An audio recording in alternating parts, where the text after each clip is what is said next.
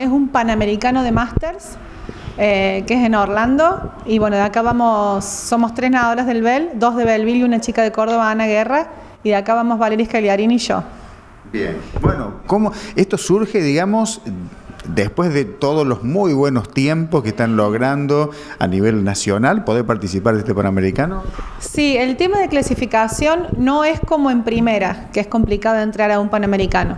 O sea, el tiempo es más fácil lograrlo. El tema es, eh, bueno, que nos hemos preparado muy bien, creemos que estamos muy bien. La idea es ir a bajar nuestras marcas.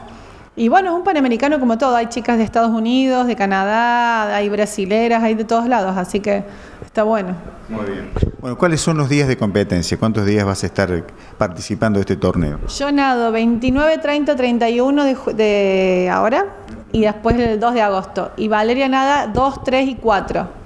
Así que tenemos mucho, es muy larga la competencia porque es mucho el volumen de nadadores que hay por cada categoría. Entonces por día se hacen cuatro o cinco pruebas nomás. Bien. ¿En qué, ¿En qué pruebas van a estar participando? Yo en 50 y 100 mariposa y en 50 y 100 libres. Y Valeria en 50, 100 y 200 pecho. Perfecto. Bueno, como decías, confiadas en que han tenido una muy buena eh, preparación, entrenamiento. ¿Hace tiempo que vienen ya preparándose para esto? Y esto lo decidimos hace cuatro meses, así que estos cuatro meses natación, las preparaciones son largas. No es como en fútbol, ponerle que vos te preparas para cada domingo. No, acá eh, son cuatro meses de planificación para este evento particular. Eh, si bien hemos ido a otros torneos, pero siempre pensando en esto. Así que bueno, vamos a ver qué pasa. Bien.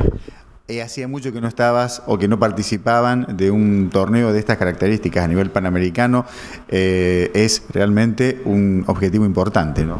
Sí, yo nunca fui un panamericano de Masters, así que eh, tuve la gracia de poder ir a un panamericano de primera, pero no sé si será parecido, si será, no sé cómo sé que hay buen nivel porque los tiempos ya los tenemos, así que, bueno, lo bueno es que estamos dentro de las ocho de las ocho mejores en todas las, en todas las pruebas.